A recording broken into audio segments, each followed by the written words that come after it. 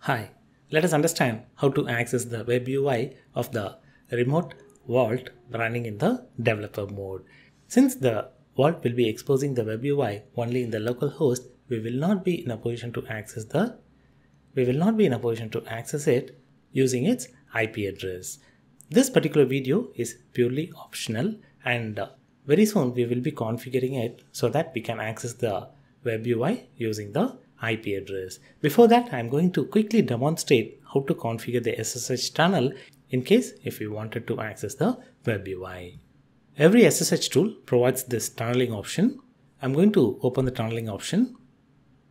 Here I'm going to add a new option where I'm going to use the local port 8200. I can use any port that I wanted. In case if you are running the vault already in 8200, you can select a different port. 8400. So anything I am accessing in the local host in port 8400 will be routed through this SSH option into this particular IP address. This is the IP address of this particular machine node 5. 192.168.0.55 and it will be using this particular user ID and the port. And any request coming into this particular machine in the port 22 through this particular tunnel will be routed to the local host 8200 and the response will be provided back to the user. I'm going to start this as SSH tunneling. Yes. And uh, let me start the server. Windows 5 on, it's going to ask for the permission to access through the SSH tunnel.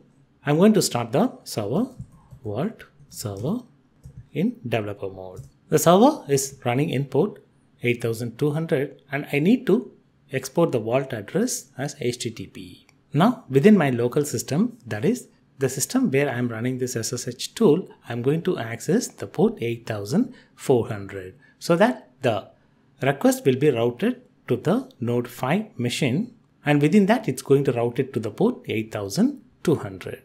So I'm accessing the port 8400 and the request will be routed to this particular Linux machine and uh, here it will be routed to the port 8200 of localhost.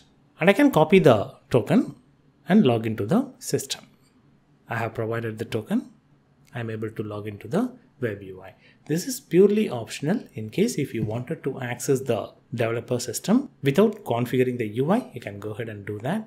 Very soon we will make the configuration file change so that we can access it using the IP address.